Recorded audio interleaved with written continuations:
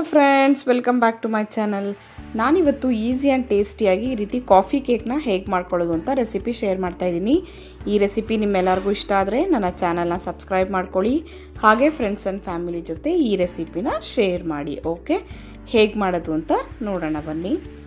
ಮೊದಲನೇದಾಗಿ ಒಂದು ಸಣ್ಣ ಮಿಕ್ಸಿ ಜಾರಿಗೆ ನಾನಿಲ್ಲಿ ಕಾಫಿ ಪೌಡರ್ನ ಯೂಸ್ ಮಾಡ್ತಾಯಿದ್ದೀನಿ ಇನ್ಸ್ಟಂಟ್ ಕಾಫಿ ಪೌಡರ್ ಯೂಸ್ ಮಾಡಿ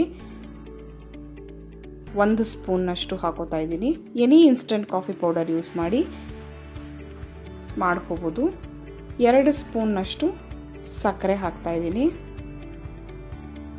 ಮತ್ತು ಸ್ವಲ್ಪ ಉಗುರು ಬೆಚ್ಚಗಿರೋದು ಒಂದು ಎರಡು ಸ್ಪೂನ್ನಷ್ಟು ನೀರು ಹಾಕ್ಕೊಂಡು ಚೆನ್ನಾಗಿ ಇದನ್ನು ಮಿಕ್ಸಿ ಮಾಡ್ಕೊಳ್ಳೋಣ. ನೋಡಿ ಇವಾಗ ಮಿಕ್ಸಿ ಮಾಡ್ಕೊಂಡಾಗಿದೆ ಈ ರೀತಿ ಆಗಬೇಕು. ಸೇಮ್ ಇದೇ ರೀತಿ ಕನ್ಸಿಸ್ಟೆನ್ಸಿ ಇರಬೇಕು ನೋಡಿ ಈ ರೀತಿ. ಒಂದು ಚೆನ್ನಾಗಿ ಒಂದು ಟೂ ತ್ರೀ ಮಿನಿಟ್ಸು ಗ್ರೈಂಡ್ ಮಾಡಿಕೊಂಡ್ರೆ ಈ ರೀತಿ ಆಗುತ್ತೆ. ಇದಕ್ಕೆ ನಾನಿಲ್ಲಿ ಕಾಲು ಕಪ್ಪಷ್ಟು ರಿಫೈನ್ಡ್ ಆಯಿಲ್ನ ಯೂಸ್ ಮಾಡ್ತಾ ಇದ್ದೀನಿ. ನೀವು ರಿಫೈನ್ಡ್ ಆಯಿಲ್ ಬದಲಿಗೆ ಬೆಣ್ಣೆ ಬೇಕಾದರೂ ಯೂಸ್ ಮಾಡ್ಕೋಬೋದು, ಕರಗಿಸಿ. ನೆಕ್ಸ್ಟು ಡ್ರೈ ಇಂಗ್ರೀಡಿಯೆಂಟ್ಸ್ನೆಲ್ಲ ಹಾಕ್ಕೊಳ್ಳೋಣ ಮೊದಲನೇದಾಗಿ ಈ ರೀತಿ ಒಂದು ಸ್ಟ್ರೈನರ್ ಇಟ್ಕೊಂಡಿದ್ದೀನಿ. ಇದಕ್ಕೆ ಒಂದು ಕಪ್ಪಷ್ಟು ಮೈದಾ ಹಿಟ್ಟನ್ನು ಹಾಕೋತಾ ಇದ್ದೀನಿ. ನೆಕ್ಸ್ಟು ಅರ್ಧ ಕಪ್ಪಷ್ಟು ಚೆನ್ನಾಗಿ ಪುಡಿ ಮಾಡಿರುವಂಥ ಸಕ್ಕರೆ ಹಾಕೋತಾ ಇದ್ದೀನಿ. ಕ್ವಾಂಟಿಟಿ ಕರೆಕ್ಟಾಗಿ ನೋಡ್ಕೊಳ್ಳಿ. ನೀವು ಯಾವ್ದಾದ್ರು ಒಂದು ಕಪ್ ಇದ್ದರೆ ನಿಮ್ಮ ಮನೆಯಲ್ಲಿ ಅದನ್ನ ಇಟ್ಕೊಂಡು ಅದೇ ಕಪ್ಪಲ್ಲಿ ಕರೆಕ್ಟಾಗಿ ಅಳತೆ ಮಾಡಿಕೊಂಡು ಹಾಕೊಳ್ಳಿ. ಒಂದು ಸ್ಪೂನಷ್ಟು baking powder one teaspoon ಇದು. ಅರ್ಧ ಟೀ ಸ್ಪೂನಷ್ಟು ಬೇಕಿಂಗ್ ಸೋಡಾ. ಇವಾಗ ನೀಟಾಗಿ ಜರಡಿ ಮಾಡ್ಕೊಳ್ಳೋಣ. ಈ ರೀತಿ ಜರಡಿ ಮಾಡ್ಕೊಳ್ಳೋದ್ರಿಂದ ನಿಮ್ಮ ಕೇಕು ಚೆನ್ನಾಗಾಗತ್ತೆ, ಎಲ್ಲೂ ಏರ್ ಬಬಲ್ಸ್ ಇರಲ್ಲ. ಮತ್ತು ನಿಮಗೆ ಕಲಿಸ್ಬೇಕಾದ್ರೆ ಗಂಟು ಸಹಿತ ಆಗಲ್ಲ. ಒಂದು ಸರ್ತಿ ಈ ಥರ ನೀಟಾಗಿ ಮಿಕ್ಸ್ ಮಾಡ್ಕೊಳ್ಳಿ. ಚೆನ್ನಾಗಿ ಮಿಕ್ಸ್ ಮಾಡಿಕೊಂಡು ನಾನಿಲ್ಲಿ ಒಂದು ಅರ್ಧ ಕಪ್ಪಷ್ಟು ಹಾಲು ಇಟ್ಕೊಂಡಿದ್ದೀನಿ ಅದನ್ನು ಗ್ರ್ಯಾಜುಯಲಿ ಅಂದರೆ ಸ್ವಲ್ಪ ಸ್ವಲ್ಪನೇ ಹಾಕೋತಾ ಮಿಕ್ಸ್ ಮಾಡ್ಕೋತೀನಿ. ಒಂದೇ ಸಲ ಹಾಕ್ಕೊಂಡು ಮಿಕ್ಸ್ ಮಾಡ್ಕೋಬೇಡಿ, ತುಂಬ ತೆಳ್ಳಗಾಗೋ ಚಾನ್ಸಸ್ ಇರುತ್ತೆ. ಸ್ವಲ್ಪ ಸ್ವಲ್ಪನೇ ಹಾಕ್ಕೊಂಡು ನೋಡಿ ಈ ಹದಕ್ಕೆ ಬರೋವರೆಗೂ ಮಿಕ್ಸ್ ಮಾಡ್ಕೋಬೇಕು. ಹಾಲೇನಾದ್ರು ಅರ್ಧ ಕಪ್ಗಿಂತ ಕಡಿಮೆ ಆದರೆ ಇನ್ನೊಂದು ಸ್ವಲ್ಪ ಆ್ಯಡ್ ಮಾಡ್ಕೊಳ್ಳಿ, ಏನೂ ಪ್ರಾಬ್ಲಮ್ ಇಲ್ಲ. ಒಟ್ಟಲ್ಲಿ ಈ ರೀತಿ ಬರಬೇಕು, ದೋಸೆ ಹಿಟ್ಟಿನ ಹದಕ್ಕೆ ಬರೋವರೆಗೂ. ಮಿಕ್ಸ್ ಮಾಡ್ಕೊಳ್ಳಿ. ನೆಕ್ಸ್ಟು ಒಂದು ಕೇಕ್ ಟಿನ್ ತೊಗೊಳ್ಳಿ. ಎನಿ ಶೇಪು ನಿಮಗೆ ಯಾವ ಶೇಪ್ ಇಷ್ಟನೋ ಆ ಶೇಪ್ ಕೇಕ್ ಟಿನ್ ತೊಗೊಂಡು ಚೆನ್ನಾಗಿ ಎಣ್ಣೆನ ಅಪ್ಲೈ ಮಾಡ್ಕೊಳ್ಳೋಣ. ಈ ರೀತಿ ಎಣ್ಣೆ ಅಪ್ಲೈ ಮಾಡಿರೋದ್ರಿಂದ ನಿಮ್ಮ ಕೇಕು ಏನು ಟಿನ್ನಲ್ಲಿ ಅಂಟ್ಕೊಳ್ಳಲ್ಲ, ನೀಟಾಗಿ ಬಂದ್ಬಿಡುತ್ತೆ. ಇದಕ್ಕೆ ಇವಾಗ ಸ್ವಲ್ಪ ಮೈದಾ ಹಿಟ್ಟು ಹಾಕಿ ಡಸ್ಟಿಂಗ್ ಮಾಡ್ತಾಯಿದ್ದೀನಿ ಈ ರೀತಿ ಸ್ವಲ್ಪ ಮೈದಾ ಹಿಟ್ಟನ್ನ ಸ್ಪೆಷಲಿ ಕೆಳಗಡೆ ಪೋರ್ಷನಿಗೆ ಹಾಕಿ ಚೆನ್ನಾಗಿ ರೀತಿ ಡಸ್ಟ್ ಮಾಡಿ.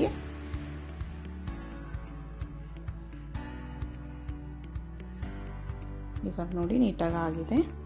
ನೆಕ್ಸ್ಟು ಇದಕ್ಕೆ ನಾವು ರೆಡಿ ಮಾಡಿ ಇಟ್ಕೊಂಡಿದ್ವಲ್ಲ, ಆ ಕೇಕ್ ಬ್ಯಾಟರ್ನ ಹಾಕೊಳ್ಳೋಣ. ನಾನಿವತ್ತು ಈ ಕೇಕ್ನ ಅವೆನಲ್ಲಿ ಮಾಡ್ತಾಯಿದ್ದೀನಿ ನಿಮ್ಮನೇಲಿ ಏನು ಓವೆನ್ ಇಲ್ಲ ಅಂದರೆ ಕಡಾಯಿ ಇಟ್ಕೊಂಡು ಕಡಾಯಲ್ಲೂ ಮಾಡ್ಕೋಬೋದು. ನಾನು ಒಂದು ಬಾಳೆಹಣ್ಣಿನ ಕೇಕು ಚಾಕ್ಲೇಟ್ದು ಮಾಡಿದ್ದೆ, ಅದನ್ನು ಕುಕ್ಕರಲ್ಲಿ ಮಾಡಿದ್ದೆ. ಅದನ್ನ ಯಾರೋ ನೋಡಿಲ್ಲ ಅಂದರೆ ಲಿಂಕ್ ಹಾಕ್ತೀನಿ ನೋಡಿ. ಆ ರೀತಿ ಬೇಯಿಸಲು ನೀವು ಕೇಕ್ಗಳನ್ನ ಮನೆಯಲ್ಲಿ ಓವೆನ್ ಇಲ್ಲದೆ ಇರೋರು ಆರಾಮಾಗಿ ಮಾಡ್ಕೋಬೋದು.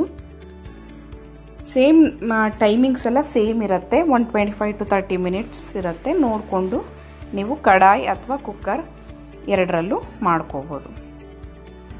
ಓಕೆ, ಇವಾಗ ರೆಡಿ ಇದೆ. ಇದನ್ನು ಒಂದು ಎರಡು ಸಲ ಈ ರೀತಿ ಟ್ಯಾಪ್ ಮಾಡಿ ಏರ್ ಬಬಲ್ನೆಲ್ಲ ತೆಗೆದು ಒನ್ ಏಯ್ಟಿ ಡಿಗ್ರಿ ಸೆಲ್ಸಿಯಸಲ್ಲಿ ಏನು ಹೀಟ್ ಆಗಿರುತ್ತಲ್ಲ ಪ್ರೀ ಹೀಟ್ ಆಗಿರೋ ಓವೆನ್ನಲ್ಲಿ ನಾನು ಕೇಕ್ನ ಇಡ್ತಾ ಇದ್ದೀನಿ.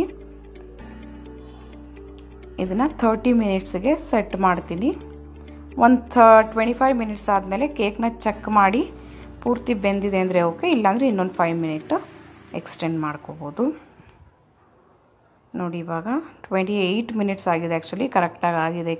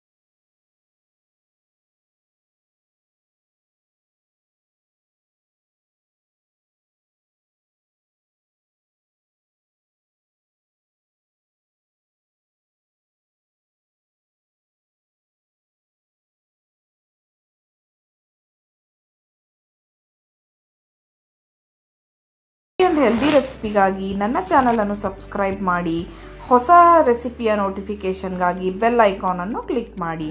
ಫೇಸ್ಬುಕ್ ಹಾಗೂ ಇನ್ಸ್ಟಾಗ್ರಾಮ್ನಲ್ಲಿ ಫಾಲೋ ಮಾಡಲು ಡಿಸ್ಕ್ರಿಪ್ಷನ್ ಬಾಕ್ಸರ ಲಿಂಕನ್ನು ಕ್ಲಿಕ್ ಮಾಡಿ.